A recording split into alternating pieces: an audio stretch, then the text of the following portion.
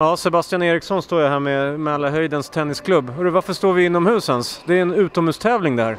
Ja, nej, det började regna, det började regna vid eh, början av tredje set blev det. Så då blev det avbrutet, en liten paus och sen flyttade vi in. Men då börjar man alltså spela på grus och sen går man in och spelar inomhus. Det låter som, det är nästan som två olika sporter alltså. Ja, nej, men det var skönt att flytta in. Ja, det var det. Du gillar inomhus bättre kanske? Ja, idag var det så. Det går snabbare, kan jobba, stanna kvar vid baslinjen lite mer.